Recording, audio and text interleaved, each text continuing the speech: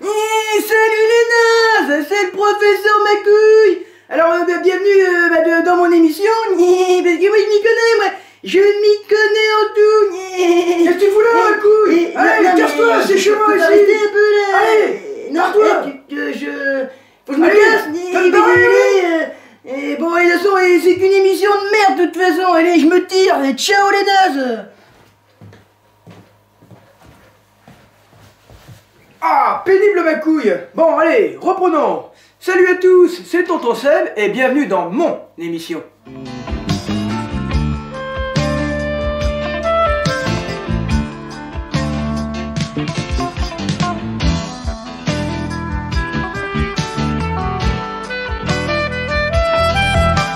Aujourd'hui, on va parler du manga Cobra et plus particulièrement de sa deuxième partie en couleur réalisée dans les années 90, euh, début 2000. Donc tout d'abord, euh, pour ceux qui ne connaîtraient pas trop Cobra, bon déjà honte à vous, hein, faut vous y mettre. C'est un manga créé par Bushi Terasawa et sorti en 1978 jusque dans les années 80 pour sa première partie. Donc un manga extrêmement populaire au Japon et également notamment en France avec la magnifique adaptation en dessin animé parue dans les années 80. Donc euh, la première partie en noir et blanc a été euh, quelquefois éditée en France, hein, notamment il y a quelques années chez euh, Black Box. Euh, voilà, là, je vous en ai ramené deux là, pour l'exemple. qui est une magnifique édition où on retrouve le sens de lecture japonais avec les pages en couleur qui avaient été qui, avait été oublié dans les euh, précédentes éditions euh, de, Cobra euh, en France. hein. Voilà. Donc ça c'est une superbe édition qui malheureusement n'est plus éditée. Ah, c'est très dommage. Mais si vous, vous, adorez, Cobra, pardon, et que vous avez moyen de le trouver en occasion, euh, foncez. hein. C'est vraiment une édition ultime. Ça se base sur la dernière version japonaise. Donc en 12 euh, volumes, là où les précédentes éditions françaises étaient en 20 volumes. Dans les années 90, Bushi Terasawa, qui s'était déjà fait la main euh, sur euh, la colorisation euh, par ordinateur, se décide d'adapter Cobra, de refaire la nouvelle série Cobra entièrement du coup dès le départ en couleur quoi. Et donc voilà, donc le premier volume, si je me trompe pas, est sorti en 95 au Japon. Il faudra attendre plusieurs années chez nous malheureusement pour, euh, pour le voir. Donc, donc la première édition donc, comme, euh, voilà, donc, est sortie chez Taifu Comics. Hein, euh, sur un, un très... non, là je, vais regarder un petit peu. sur un très beau papier glacé. hein. C'est vraiment c'était vraiment superbe dans un format un peu plus grand que ce qu'on avait l'habitude d'avoir pour les mangas chez nous en France mais cette édition est bien évidemment malheureusement maintenant euh, épuisée et euh, depuis un peu plus d'un an c'est l'éditeur Isan Manga hein, un éditeur qui est pas très vieux d'ailleurs qui a récupéré les droits et qui a décidé de ressortir une intégrale de Cobra en, grand volume. Alors, on peut le voir, hein. Euh, voilà, ça, vous voyez la différence de format, hein, ça, ça, ça, rigole pas. C'est vraiment des gros, gros volumes, hein. c'est une bonne tranche bien épaisse. Si vous n'avez pas Cobra en couleur, on court tout de suite au suspense.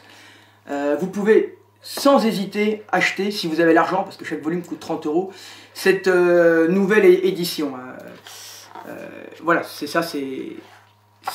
L'édition est vraiment très très belle. Voilà, si vous ne l'avez pas, vous pouvez y aller sans aucun souci, vous ne le regretterez pas. En revanche, si vous possédez déjà la première édition, est-ce que ça vaut le coup de le racheter? Là, ça va être un petit peu à vous d'en juger. On va donc voir ensemble, du coup, les différences entre l'édition de chez Taifu et l'édition de chez Isan Manga. Première grosse différence, évidemment, c'est euh, le format, comme on l'a vu. hein. Euh, le, gros, le grand format qui permet euh, d'apprécier à sa juste valeur, c'est le volume 2, toutes les magnifiques illustrations euh, de, Bushi Terasawa. hein, c'est euh, euh, c'est vraiment, euh, c'est vraiment pour ça, c'est vraiment superbe. je vous laisse profiter un petit peu. donc ça, là-dessus, bon, le, grand format, ça, ça apporte vraiment, vraiment un, plus. Maintenant, j'ai noté, comparé à la version chez Taifu Comics, un très léger effet de flou certaines illustrations. C'est très très léger. Certainement du fait dû à l'agrandissement des images, ainsi que euh, une colorimétrie un petit peu plus foncée sur l'édition de chez Isan Manga. C'est possible, là ça va, va, pas se voir, mais que c'est dû au fait que le papier chez euh, Taifu Comics est un peu plus brillant, un peu plus glacé. Hein, ce qui donne peut-être ce rendu également euh, un peu plus clair. D'ailleurs, pour le coup, j'ai une petite préférence pour le, papier de chez euh, euh, Taifu, Comics, justement parce que c'est un peu plus brillant. maintenant, chez Isan Manga, on a un papier plus épais, hein, de, meilleure qualité. Alors ça se voit, hein, vu l'épaisseur du bouquin. Donc c'est un petit point qui n'est pas très grave, mais qui est, bien évidemment euh, à, souligner, quoi, ce petit problème de couleur. C'est vraiment un film, hein, vous n'attendez pas euh, voilà, à ne rien voir. Hein.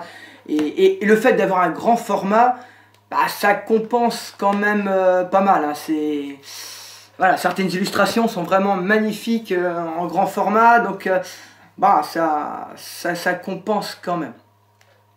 Donc Isan Manga, à, l'heure actuelle, a marqué son site euh, qui avait euh, pour l'instant 17 volumes de Cobra. Et donc il a qu'il allait les, publier. 17 volumes, si on regarde la parution japonaise, en fait n'est que 15. Donc ils font certainement référence aux deux histoires de Salamandar qui est sorti, euh, si je me trompe pas, hein, apparemment uniquement en France. Ce serait une exclusivité euh, française. Et donc du coup, s'il parle cette volume, on aura du coup ces deux volumes de Salamander qui seront édités. Donc ça c'est plutôt bien pour ceux qui seraient passés à côté, euh, puisqu'on en a moins parlé que, les autres, donc ça c'est plutôt pas mal. Espérons euh, également qu'ils éditent la toute nouvelle histoire de Cobra, puisque Bushi en ce moment est en train de réaliser une nouvelle histoire, qu'on peut consulter euh, en ligne. C'est en cours de, parution à, l'heure actuelle euh, au Japon. Donc elle s'appelle euh, Over the Rainbow. Donc c'est la version japonaise en quelque sorte hein, du, Magicien d'Oz, hein, revu à la sauce Terazawa. Donc c'est plutôt pas mal. On retrouve les, différents personnages, hein, donc l'épouvantail, l'homme de fer, le lion ça va, être vraiment intéressant. Et il affronte en plus, si je ne me trompe pas, un de ses pires ennemis, euh, Black Sword Zero, qu'on avait pu voir euh, dans les mangas, euh, les premiers mangas en, noir et blanc. Donc ça, espérons que du coup, il continue, voilà, et qu'on a vraiment une intégrale de chez Intégrale, puisque à l'époque de Taifu Comics, cette histoire-là n'existait pas, bien sûr, puisqu'il était en train de la, réaliser en solo. Autre euh, point qu'il faut aborder par rapport à l'édition euh, Isan Manga et Taifu Comics, c'est la traduction euh, française. Isan, non, Taifu Comics, pardon, avait fait appel à un studio de, traduction, voilà, translation française par SARL Efort. pour ce qui est des éditions Isan Manga, c'est Odillon Grevet euh, qui, s'est chargé de la traduction. C'est toujours cette personne-là qui traduit euh, les bouquins chez, enfin ça m'a tout l'air, chez euh, Isan Manga. C'est pas tout à fait pareil. Le sens reste relativement le même, mais c'est pas tout à fait pareil. Donc, je me suis dit, pour voir, avoir une idée de laquelle traduction serait plus ou moins fidèle, je vais comparer à l'édition Noir et Blanc, puisque pour ceux qui ne connaîtraient pas, certaines histoires de Cobra, comme là par exemple dans, le, volume 5, euh, ces de Cobra euh, anciennes ont été refaits et recolorisés. Hein, comme par exemple le secret du rayon delta qu'on retrouve euh, dans les premiers volumes. Euh, donc on a plusieurs histoires comme ça de Cobra qui ont été refaites. Hein, c'est très sympa d'ailleurs. Hein, ça passe bien. Et donc, les, traductions ne correspondent pas tout à fait. le, sens est conservé, mais voilà. Donc, je me suis dit, je vais en comparer, donc évidemment, comme je vous disais, avec la version parue chez Black Box.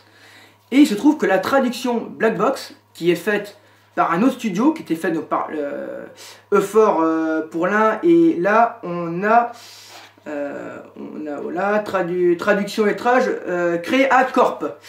Donc voilà, c'est pas les mêmes personnes qu'on traduit là, en théorie, hein, que pour Taifu Comics. Et la traduction est rigoureusement identique. Alors, soit ce sont des fumistes, ils ont repiqué la traduction des autres, soit on a c'est la traduction la plus fidèle possible. Et dans ces cas-là, l'édition de chez Isan Manga ne l'est pas. Euh, là, il faudrait faire appel à un spécialiste en japonais pour, euh, nous dire euh, quelle la traduction est, la plus fiable.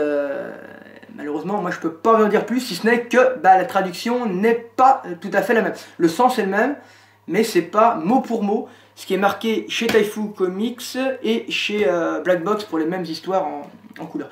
Même les, les onomatopées d'ailleurs euh, n'ont pas été traduites pareil. Il n'y a que sur l'édition de Black Box, mais qui, concerne, pour rappel, hein, que la partie en blanc, où là ils avaient conservé les illustrations, euh, bah, les onomatopées pardon, japonaises, qui étaient beaucoup plus graphiques je trouvais. Voilà, donc traduction différente. Ça ne veut pas dire que c'est mauvais, c'est juste que c'est différent, donc c'est bien de le, savoir quand même. Euh, est-ce que ça vaut le coup de l'acheter ou pas? Euh, Je pense que, néanmoins, que euh, certaines traductions sont peut-être un peu plus fidèles chez Isan Manga. Il y a certains noms qui m'ont l'air d'être un peu plus corrects chez Isan Manga. Bon, bah, à revoir. Autre petit point de différence, c'est que les éditions Isan Manga essayent, font en sorte d'avoir toujours 208 pages. Là où euh, l'édition euh, euh, de chez Comics, elle bah, s'en moquait. Quoi. On pouvait avoir 200 pages, 210 pages, peu, peu, importe. Donc du coup, pour remplir ces, 200, ces 208 pages, on se retrouve avec bien souvent en début ou en fin de volume avec euh, des illustrations qui n'étaient pas présentes sur, euh, sur la, précédente euh, édition. voilà. Donc ça c'est plutôt, plutôt sympa d'avoir des illustrations en plus. de là à dire que l'édition Taifu Comics est dénuée d'intérêt, c'est faux, puisque dans certains volumes on a des interviews, des petites illustrations aussi également en plus qui sont euh, différentes euh, des illustrations de chez euh, Isan Manga. donc voilà, donc ça c'est un, petit plus. comme là sur le volume 5, on a également un petit making-of du générique, certainement de la nouvelle série télé. Hein, donc ça c'est sympa, ça sert pas à grand chose, vous allez me dire, mais c'est plutôt sympa pour un fan de Cobra. Donc voilà donc ce qu'on pouvait dire cette euh, nouvelle édition euh, de chez Isan Manga. Donc voilà, donc c'est difficile de répondre est-ce que oui ou non ça vaut le coup de l'acheter qu'on a déjà la précédente. Si vous avez de l'argent, que je rappelle, 30 hein, euros le volume, c'est quand même pas donné. Vous avez de l'argent et que vous êtes fan de Cobra, bah, dans ces cas-là, bah, faites comme moi, achetez-le, parce que le, grand format bah, est quand même vraiment sympa pour profiter de, des très belles illustrations de, de Bushi Terasawa. Euh, si vous aimez juste Cobra comme ça, vous n'avez pas les moyens, et vous avez la précédente édition, bon ben c'est là pas de regret. Hein. Euh, conservez-la précieusement.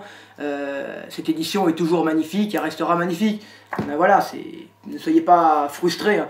En plus, notre petit point négatif, c'est que bah, c'est sympa, hein, c'est des grands formats, mais c'est plus lourd. Ça prend plus de place dans une bibliothèque. là où ça, c'était quand même plus facilement transportable et plus facilement rangeable aussi. Donc euh, voilà, vous l'avez pas, vous faut l'acheter, vous l'avez, euh, bah, ça vous va. J'espère que cette petite euh, vidéo vous aura un petit peu plus éclairé sur Cobra. En espérant, hein, pour rappel, que du coup, Issei Manga euh, sorte la dernière histoire de Cobra. Mais si c'est le cas, au rythme où ils vont, eh ben, il y a des grandes chances qu'on ne l'ait pas avant au moins un an et demi. Si c'est pas deux ans, hein, parce qu'ils sont censés sortir les volumes euh, tous les trois mois. Alors, euh, des fois c'est le cas, des fois c'est pas le cas. Donc, euh, bon. petit point concernant le papier. Je vous dis que là, Isan Manga avait été Cobra sur un papier un peu glacé. faut savoir que c'était pas le cas avant. Sur leur précédent bouquin, ça avait été un reproche. Ils avaient édité Gun Dragon Sigma et Gun Dragon 2, ainsi que Takeru volume 1 et 2 avant. Autant pour Takiru ça passait, mais pour Gun Dragon, le fait d'avoir choisi un papier plus canson, plus mat, et eh ben les illustrations euh, ne rendaient pas si bien. Du coup, euh, pas mal de personnes se sont plaintes. Et là, c'est pour ça qu'ils ont changé, qu'ils ont pris un papier du coup euh, plus glacé. un peu moins glacé, un peu moins brillant, je vous disais, que la précédente édition, mais papier quand même plus brillant quand même. C'est beaucoup mieux du coup. Hein. Franchement, c'est beaucoup mieux. Voilà, sur ce, euh, là, je pense que on a fait le tour. Euh, je vous dis donc euh, bonne fin de journée, bonne soirée, peu importe. Et à bientôt. Allez, salut les geeks